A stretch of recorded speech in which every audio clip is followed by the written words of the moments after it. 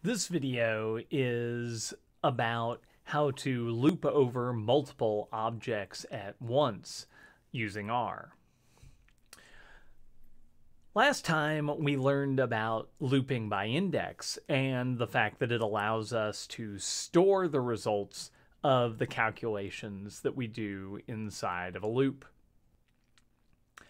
One of the other advantages of looping by index is that it can allow us to loop over multiple objects simultaneously.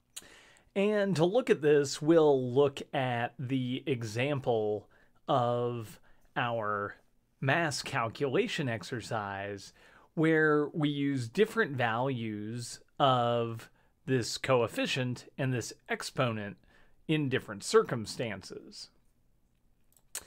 And so let's go ahead and add a couple of additional vectors where we want to store that information. And so we'll have this uh, coefficient here, we'll call that B0, and we'll create a vector that has the appropriate B0 values in it.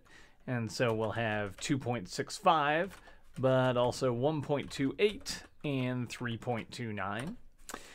And then we'll use B1 for this exponent. And in that vector, we'll keep our 0.9 that we started with, and then we'll also add 1.1 and 1.2.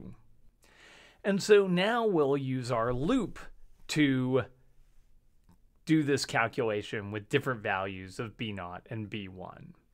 And of course, we don't really need a loop here. Uh, we're just using this because it's uh, the simplest way uh, that I can think of to explain how loops work, uh, we could just rely on, on vector math if we wanted to. But for doing these things in the loop, we now need to get our value of b naught, b0, and put it here. And so we can do that by saying b0, square brackets, in the ith position right? Because on the first trip through the loop, we want the first volume, but also the first value of B naught and the first value of B1.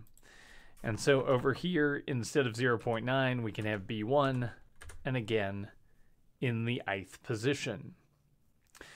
And so what this will do is the first time through the loop, it will create this vector from 1 to 3, assign the first value, 1, to i, it will then get the first value out of B naught and put it here, the first value out of volumes and put it here, and the first value out of B1 and put it here, and do the calculation.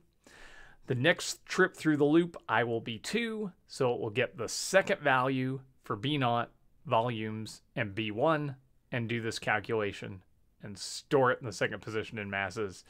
And then the third time through the loop, it'll get the third value from B naught from volumes and from B1.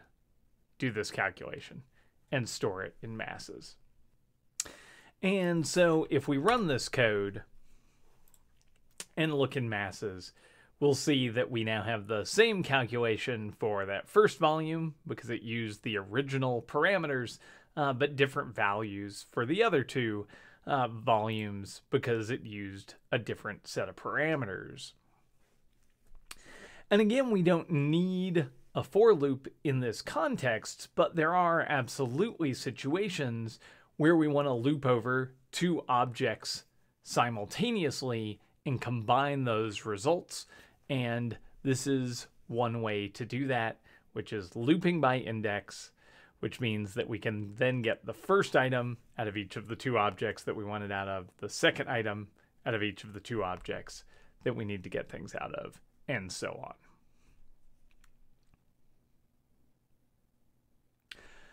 So that's how we loop over multiple objects simultaneously. We loop by index, which allows us to then access the objects at that index, no matter how many objects we have. Whereas when looping by values, we'd only be able to access those values in the one object that we were looping over. Check in. Uh, check, check. Uh, there are also some folks over at my house doing work today, and uh, when I talked to him this morning, I did not have my hair up, uh, and I just popped out to say something to him, and I got a very interesting and confused look, followed by an awkward pause before answering my question. And uh, so, the hair is influencing the world far and wide today.